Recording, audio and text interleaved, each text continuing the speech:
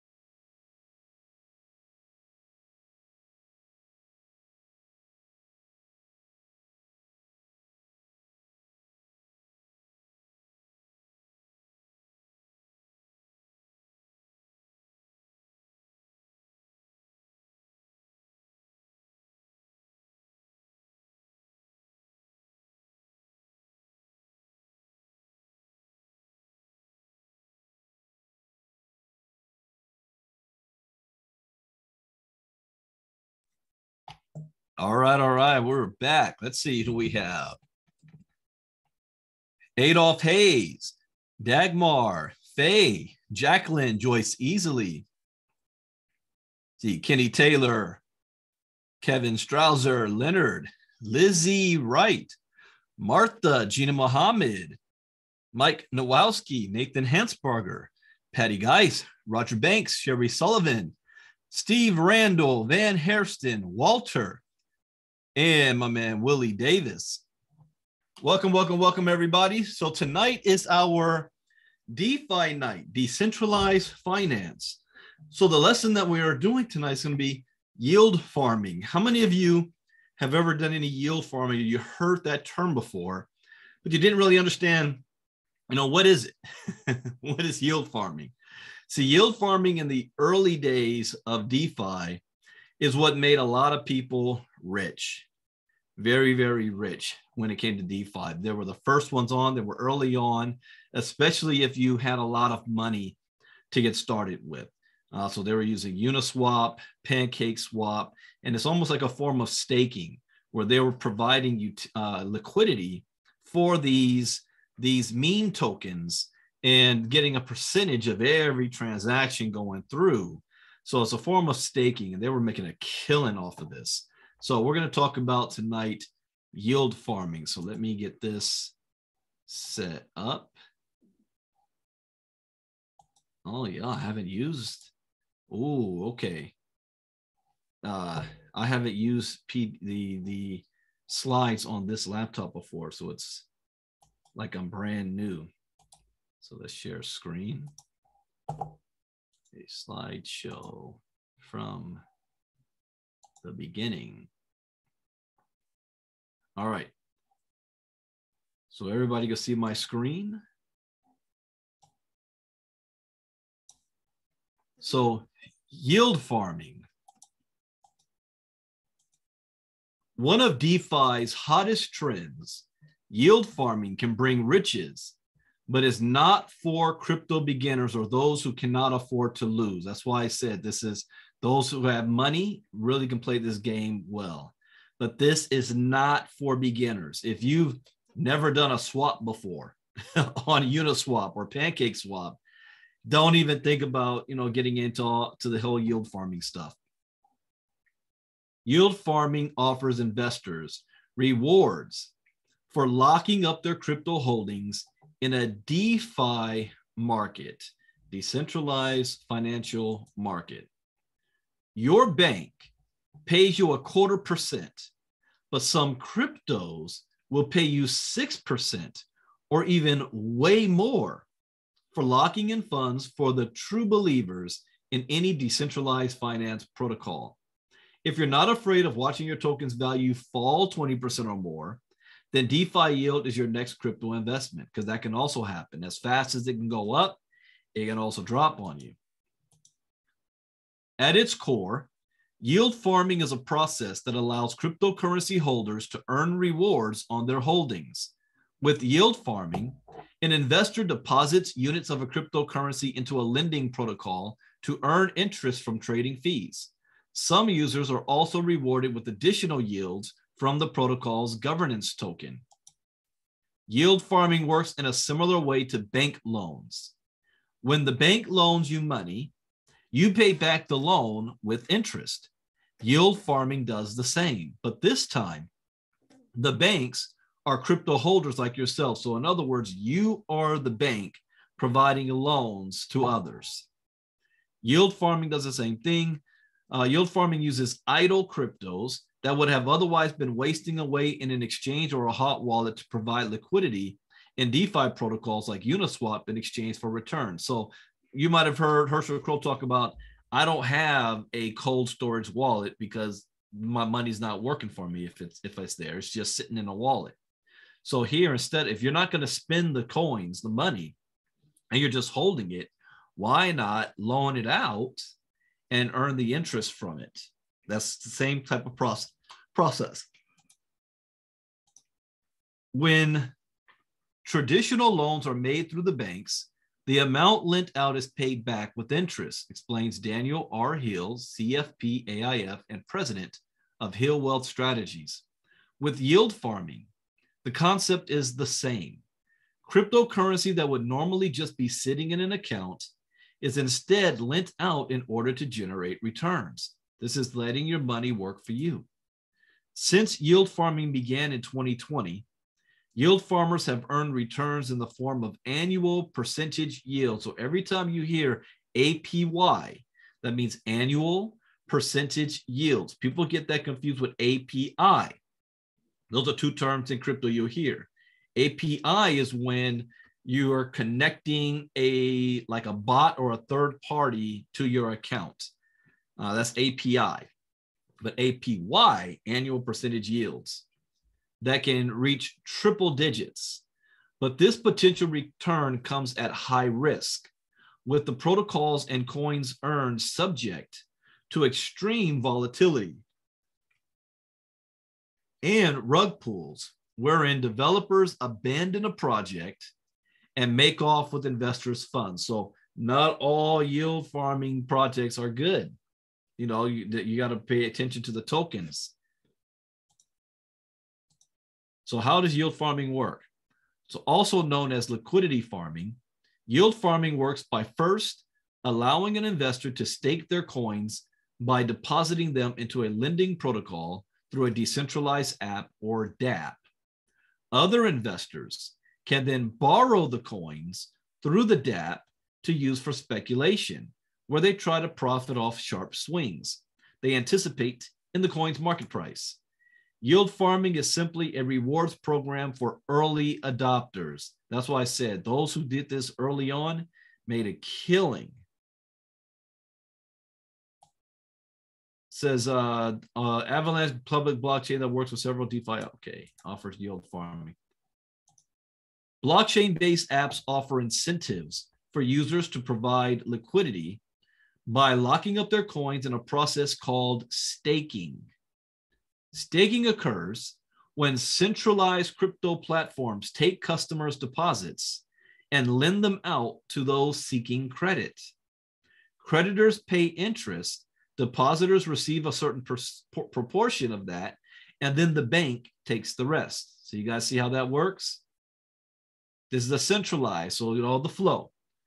So staking occurs when a centralized crypto platform takes customers' deposits, just like a bank does, and then lends them out. So when you work a nine to five job and you got your direct deposit into your bank account, the bank takes your money and legally they can take 90% of it. All right. They, they're only legally uh, told to hold at least 10% in, in cash. So they take 90% of it and they put it to work. They lend it out. I, I, I say this all the time. My first time learning this process was when I watched that Christmas movie, uh, It's a Wonderful Life. George Bailey Savings and Loans. That's where I first got that concept. And I remember asking my grandpa if he could do the same thing, start start a savings and loans company. And my grandpa just looked at me like, boy, shut up. He didn't, he didn't understand what I was talking about. But it made perfect sense to me. I'm like, that's like the ultimate hustle. You give me money, I lend it out to somebody else. Whoever I lend it to, they pay me the money back plus interest. So I can pay back the person who gave me the money and I keep the interest. So I'm making money off of other people's money. OPP, OPM. what is that, Gina? Is that like what a, what I think the wallet is? Nerd wallet. I know I saw a wallet that keeps saying get a loan. No, there's there, it's not too big today because of we're still in the crypto winter. But when when the storm ceases, and what happened before, it was very very big. Like uh, I had oh I deleted those apps off mine, Nexo and others that I was doing this with. This lending is usually facilitated through smart contracts. So the way instead of doing it through a bank, a centralized agency, is done through a program, a smart contract. Yeah, Nexo. I had I was using Nexo too, which are essentially just a piece of code running on a blockchain, functioning as a liquid pool. Yeah, Kevin's right. A legal loan shark. It's a legalized loan shark.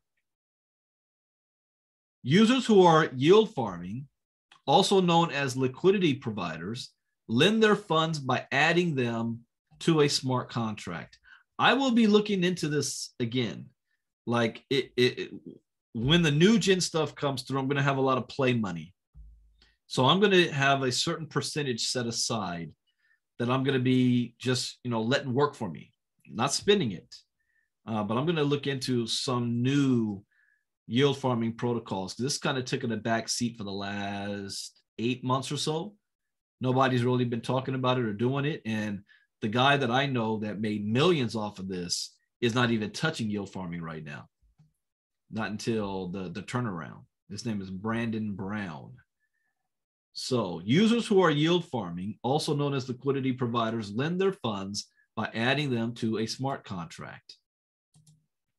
Investors who lock up their coins on the yield farming protocol can earn interest and often more cryptocurrency coins, the real boon to the deal. So, if you've got money in a bank and you earn interest, you get fiat money. But what if you get your interest back in the same crypto coin that you're st- that like you're staking? And then that value of that goes up. So it's like you're getting paid double, triple, quadruple. You're getting your money back, you're getting interest, plus the value of the token rising on you. But it can also fall on you too. If the price of those additional coins appreciates, the investor's returns rise as well. This process provides the liquidity newly launched blockchain apps need to sustain long-term growth. So let's say you are creating a new app, you've got a new project, and you want to get it off the ground. The first question most big time uh, uh, investors ask is, What is your liquidity? But what if you don't have a lot of money to lock up on your own project? And you go to the loan shark well, you go to these protocols that say, we will provide you with the liquidity on your project if we get a percentage of everything that's coming through. So you say, okay, that now I have the funds that I need. And it's a smart contract too. So you're not getting cheated out. The only thing that can happen is if the project was bogus from the start and they pull a rug pull and run off with all the crypto. That is possible. So you got to watch who you're lending your money to. And yet, in the crypto space that we know of, you don't have Jimmy coming knocking on your door to break your legs. Actually, it's a little bit more dangerous in crypto. People end up disappearing in crypto. So, this is how this works. So this provides the liquidity newly launched blockchain apps need to sustain long-term growth. These apps can increase community participation and secure this liquidity by rewarding users with incentives like their own governance tokens, app transaction fees, and other funds. You could compare yield farming to the early days of ride sharing. Uber, Lyft, and other ride sharing apps needed to bootstrap growth. So they provided in- incentives for early users who referred other users onto the platform. You know what this is? Starvara is doing that. Starvara is saying, for the, you early adopters, we're going to give you incentives for helping to get this off the ground, for sharing this, to participating. You're going to get extra loot boxes. You're going to get extra Vara vouchers. You're going to get this. You're going to get that. That people that come after won't ever have access to. So early users. Another incentive for staking is to accumulate enough shares of the crypto to force a hard fork where a major infrastructural change is made to the design of the crypto. Hard forks enable the holders of crypto to force changes that would, at least in the opinion of the majority of the holders, improve the cryptocurrency going forward. In a way, hard forking gives crypto investors a power like what share voting does for stockholders. In other words, it's like a DAO, except they're for, since it's not a DAO, they're forcing it. The same way shareholders can vote on key matters affecting the management or direction of the companies they invest in, cryptocurrency holders can use hard forks to push a cryptocurrency protocol in a certain direction. Staking coins to cause a hard fork allows crypto to take on this important characteristic of equity investments and moves crypto from a cash like investment in a portfolio to a quasi quasi equity investment. Yield farming works in a similar way to bank loans. So when the bank loans you money, you pay back the loan with interest. Yield farming does the same, but this time the banks are the crypto holders. Yield farming uses idle cryptos that would otherwise be wasting away in an exchange or a hot wallet to provide liquidity in DeFi protocols like Uniswap or PancakeSwap in exchange for returns. Now, is crypto yield farming profitable? Well, while yield farming is unquestionably risky, it can also be profitable. Otherwise, no one would bother attempting it. CoinMarketCap provides yield farming rankings with various liquidity pools, yearly and daily APY. It's easy to find pools running with double digit yearly APY and some of those thousand percentage point APYs. But many of these also have a high risk of impermanent loss, which would make investors question if the potential reward is worth the risk. The profitability of yield farming, just like investment in crypto, more generally is still very uncertain and speculative. Smith believes that the potential return pales in comparison to the risk involved in locking up your coins while you're farming. What I found, because I was looking at this in the early days, some of the big guys, they were putting in $100,000, $200,000, $300,000. And then you had the masses, people putting 500, 1,000, 5,000, 2,000, you know, smaller amounts, much more of them. Only a handful of people actually won in the yield farming in the early days, and they won big time, and everybody else lost.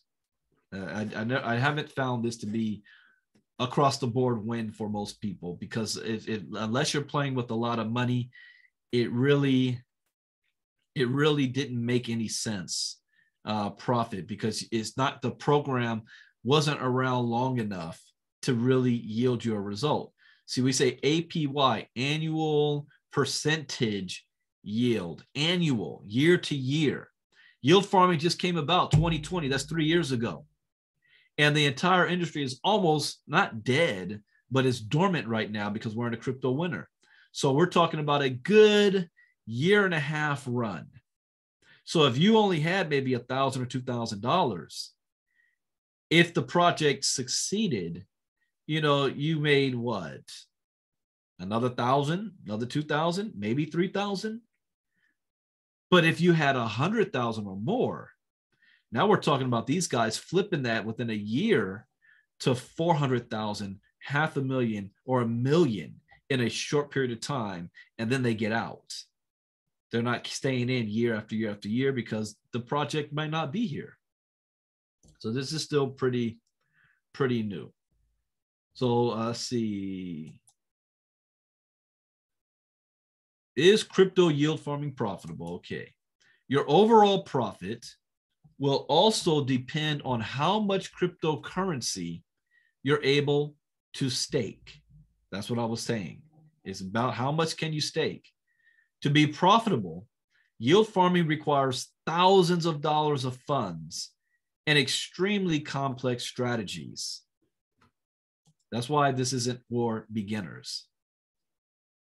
So the bottom line, yield farming involves staking or locking up your cryptocurrency in exchange for interest or more crypto.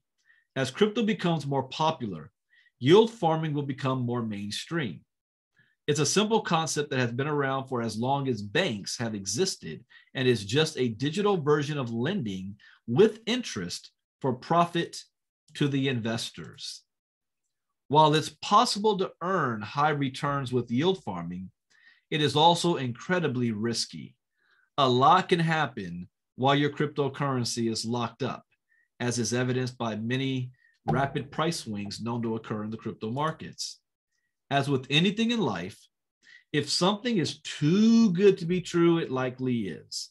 It's best to understand how yield farming works and all of the underlying risks and opportunities prior to participating in yield farms. As a disclaimer, this information is intended for educational and training purposes only and should not be construed as investment advice. As with all financial decisions, you should contact your licensed financial advisor before investing in any financial instrument. Here's what I will say because it's it's it's almost a dead industry right now. I'm going to get into this big time because as that last slide said, as long as there's going to be crypto, there's going to be loan sharks. always, as long as there's money, there's going to be banks that want to lend it out or go loans. You got to apply for it. So it's going to be big business, but it's also about timing. So the best timing that I'm going to look back into this is in 2024. Why? A year from now. The next Bitcoin halving is going to take place. The next crypto bull run will be going into full swing. And when the markets start moving up, people start flooding to the space. And also, new projects start coming out. Now, this is where you got to be careful. So, I said it's not for beginners. The people that made the most money on yield farming picked tokens like a Shiba Inu or a Dogecoin. They took advantage of, they said, all right, or a Hex uh, that you can only get on a Uniswap back in those days and said, all right, I'm going to provide liquidity for these tokens. And I'm going to hope that it goes up by 10,000%. And that's how they made a whole lot of money. The problem is only a small percentage of tokens do that compared to everything out there. So you've got to figure out which token am I going to put money on. So in, in to for this to work, you, you can't do a little bit. We're talking ten thousand dollars or more if you want to see a big hit. But can you afford to lose that if it doesn't work? So that's why it is not for beginners. It is very profitable if you want to take the risk and to learn about it. Uh, but it's good to know what it is, which is why I included that lesson here. Now, remember what I said about DeFi. DeFi is a foreign language to me. I am not the technical type with all of that little stuff. Herschel Crow loves that type of stuff. So you might ask me questions I cannot answer. all right. DeFi doesn't get me all excited jumping out of bed like Metaverse does. Like I can't wait till I do a Metaverse class, but we still need to know this to have it in our repertoire and to take advantage because I, I will take advantage of it later. I will say, all right, here's 25K I'll, I'll play with uh, in yield farming and see what I can flip that to. So you guys know what to do. Any questions, comments? Go ahead and raise your hand, and I'll call on you to get that answer for you. Any comments, questions, aha moments? Did you learn anything new? Did you always hear about yield farming but didn't know what it was, and now you know what it is?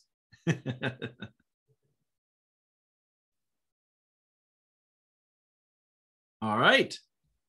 We're all good then. Oh, oh, there we go. Patty said no. Go ahead, Patty.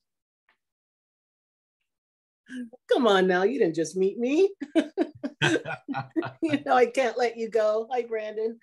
Um, okay, so I just want to understand the difference between yield farming or liquidity pool mm-hmm. and staking. So it's held with the exchange versus a project. For like IBAT. So like IBAT, I have my token staked. Yep. That's different. Okay, through my wallet with that. But if I were to do IBAT on an exchange, it would be considered yield farming. No. No. Yield farming would, would be more like I'm going to go to Un, uh, Uniswap or Pancake Swap. It's a decentralized exchange. And I'm going to provide uh, whatever token that's not even on any major exchange yet. And instead of the project holding the tokens, the exchange, the decentralized exchange does and it's in and the and it's, it's it's a smart contract and it's programmed. Say I'm locking up on this exchange, and now people can come to the exchange and get that liquidity directly from the, the decentralized exchange. So it's a little different from um, crypto.com, for example, staking or Binance staking or a specific token staking. This is on the decentralized side that staking, smart contract. So there is no individual involved in this process. But similar type yield. Yes, but but similar. Okay, that was it. Thank you. No problem. Mr. Randall, go right ahead. Okay. Uh, we mentioned uh, um, a few days ago about the um, uh, the federal government I guess, cracking down on on, on the staking process. Mm-hmm. Uh, has there been anything mentioned about about farm, or do they consider they, that the same? They don't have any jurisdiction on that because it's decentralized. So they can crack down on staking on centralized agencies like like Kraken or or um, uh, Gemini and the others because they, those are centralized in the United States. Decentralized who, who are you going to pull in a robot? You know they they don't have any jurisdiction on that. But they can but but they can mess around with the off on off ramping of it uh, especially if you're trying to move it from that into a us type of bank. Uh, and if they find any individual that's saying i created this project and you've cre- you've made money from it and now you're moving it into it they can probably go after that type of person uh, if depending on how the regulation works but right now, no, there's there this doesn't affect the yield farming side. Okay. That's all I got. No problem. Mr. Davis, go right ahead. Uh, am I unmuted? Yes, you are. Hey, how you doing, brother? Doing good. How about yourself? Oh, doing doing well. Just a uh, little bit of input. Now I'll run it through you first, but uh, I created a coin with my NFT um, site. Oh, so, nice. yeah, and it's it's the same thing. You go out there and and you stake it depending on which which blockchain you're going to run with. Mm-hmm. And so, like you say, you go to like Pancake Swap or Uniswap, and you put up an amount of other cryptocurrencies. So Bitcoin. What I did, I staked mine to uh, Polygon mm. to create the liquidity pool with Polygon. And so it's like uh, 20 to 1 uh, when you go out and you put, so it, it's called, the farm is creating a liquidity pool. And then as people come in and do transactions, so like right now, it's, it's not doing anything because I haven't opened it up to be able to be swapped, but the, the pool has already been created.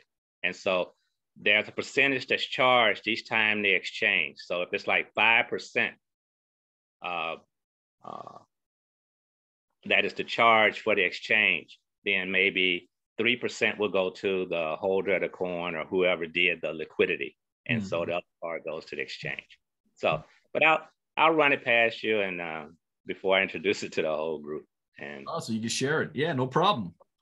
So, but uh, yeah, it, it, it's very well. It's like I, I, I staked it in uh, the liquidity I created. It's like 435 million. that works. You're going to be a very, very wealthy man. yeah. It's very interesting. So, like I say, I'll, I'll brainstorm it with you here upcoming shortly. And uh, okay, we'll, good deal. Thank you, Mr. Davis. No problem. All right. Anybody else? All right. Well, next Tuesday's course, we're going to still be on yield farming. It's going to be the top 10 yield farming protocols. Top 10 yield farming protocols. Then the one after that is DeFi versus cryptocurrencies. Uh, then we'll keep on going. So, top 10 yield farming protocols. Tomorrow night, we go with the metaverse, and we're going to be doing AI and the metaverse. And that one's going to be open. It'll still be here, same Zoom link. So, please do not give this Zoom link out to anybody. If you want to invite people to watch, tell them that they got to watch it in the five day challenge group, just like they're watching the five day challenge uh, Facebook group. So you can just send them your link to register. So just go to ilcachallenge.com or you whatever your link is if you're a promoter of ILCA. Let them register for free. I will also be uh, streaming it on my Facebook page. So you can also do that if they don't want to do that. Once I start streaming, go to my Facebook page and then share it on yours so that your your community can see it and i'll be promoting i'll be letting them know hey guys you guys are getting a sneak peek at what our diamond class gets weekly with live training it's one thing to go to youtube and watch a video but what if you've got questions what if you you know it's just a video and you guys can attest you have access to these videos you paid for them but you'd rather me do it live with you than you just sitting and watching the video of me just speaking and so I'm gonna we're gonna show that off to everybody, and that they can see why they want to be part of our community. Uh, any other news coming? This is Tuesday. That's Wednesday. We got crypto talk tomorrow morning. It's still going to be 30 minutes late. I just picked up my wife from the airport today, but I'll still be taking my son to school in the morning. So 30 minutes late tomorrow for Inner Circle. Uh, yeah, that's at 8 p.m. Eastern tomorrow. What is the metaverse to- topic? AI and the metaverse. Yeah, that's why we're doing. That's why I'm doing it public because AI is the hot hot thing going right now. Yes, Patty. Question. So on Crypto Talk, we haven't looked at your wallets in a long time. Can we maybe look to see how the markets are doing in your long-term and short-term wallets tomorrow? Well, the only wallets I always show was crypto.com and um what's the other one? Trust. Trust. So yes. Uh ooh okay, uh, we're going to do an experiment tomorrow because I have my phone connected to my laptop, the one that was acting up, not to this one. So I can share screen at the same time. So tomorrow I'm gonna do a test. This has been running fine for me all day, no issue. So I'm gonna I'm gonna attempt to do it tomorrow on my main laptop, and then I can show show like let me pull it up right now. I can see crypto.com see these tokens. I've had these on a back burner and I haven't done anything to to to move them. This used to be a $17,000 wallet. I haven't done anything different. It's just the market dropped on us. So that's our crypto.com wallet and then the trust wallet. And remember that one token? I, I could have sold that when it was at five. I made $5,000 off of it. It was the one I didn't trust. Uh, LS, not LSS. But that was the trust wallet. That used to be at about 1500 we had there, 898 now. Yeah, okay. We'll cover that tomorrow morning. So if if I have a problem with my laptop, I'm gonna swap it out and bring in back my this one. But we'll we'll, we'll look at that.